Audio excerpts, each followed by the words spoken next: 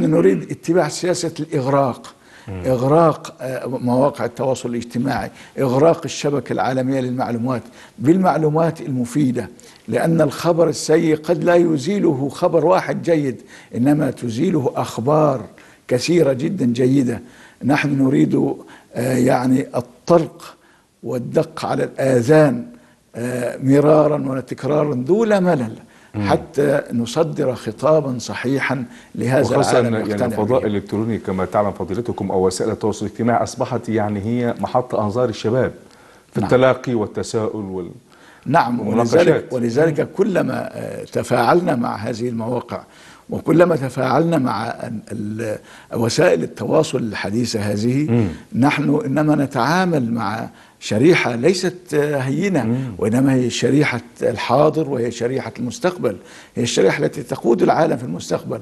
فإذا ما وضحنا لهم الصورة في وسائلهم المعاصرة آه لأنها الاستقراء يقول بأن أكثر الشباب قد لا يقرأ آه، أكثر الشباب قد لا يجلس في حوار. أكثر الشباب قد لا يستطيع آه، أن أو يتحمل أن يقرأ قراءات مطولة. صحيح. إنما نحن عصر السرعة. مع علماء النفس مع علماء الاجتماع مع العلماء المعنيين نحن عندنا رسائل صحيحة توضح الصورة الصحيحة للإسلام. آه، تعالوا نجلس معا لنوصل لهذا الشباب هذه الرسائل بالوسائل التي آه، يعني تصل. بها آه، هذه الرسائل إلى الشباب وصولا حقيقيا. أنتم يمكن أن تنيروا أمامنا الطريق علماء الاجتماع والإعلام وعلماء النفس و- وعلماء السياسة. كل العلماء يمكن أن يشتركون. كيف نصل إلى برسائلنا إلى الشباب؟ قد لا تكون طرقنا التقليدية. آه، في الحقيقة الآن قد لا تكون نافعة كل النفع. صحيح أنها مؤثرة وكل شيء لكن في شريحة الشباب نحن نحتاج أن نستعمل وسائل الشباب المعاصرة آه، أن نلج إلى الشبكة العالمية للمعلومات. نحن بحمد لله سبحانه وتعالى في دار الإفتاء المصرية آه، يعني آه، استطعنا أن نتفاعل مع هذا النموذج صحيح. الشبابي من خلال الشبكة العالمية للمعلومات. وكنا يعني على ما أظن وفي تقديري كنا روادا في آه، غزو الفضاء الإلكتروني بالصورة الصحيحة للإسلام من خلال مواقع عديدة. ربما 16 صفحة على مواقع التواصل الاجتماعي آه، على الشبكة العالمية للمعلومات.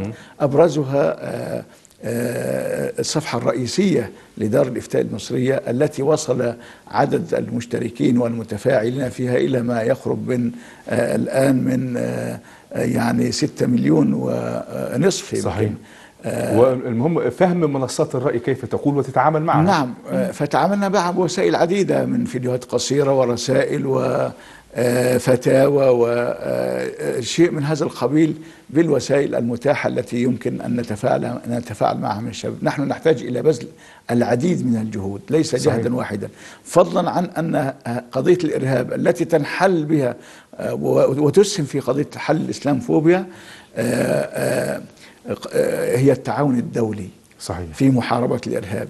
لا بد من تعاون الدولي الجهود الفردية في الحقيقة وإن أحدثت لكن آه، قضاء على هذا الإرهاب لكنها لا تؤتي النتيجة المرجوة منها.